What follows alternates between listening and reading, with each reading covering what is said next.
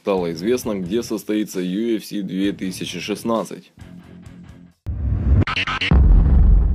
Сообщает руководство промоушена, бои в рамках вечера 9 сентября состоятся на арене Rogers Place, Эдмонд, Канада, на которой выступают в НХЛ местные Oilers. Это будет 24-й UFC карт в Канаде, начиная с памятного дебюта в UFC 83 в Монреале в 2008 году, в котором Жорж Сен-Пьер победил Мэтт Сера, чтобы вернуть себе титул чемпиона в полусреднем весе. Также добавим, что Эдмонтон станет десятым канадским городом, в котором пройдет событие американского промоушена.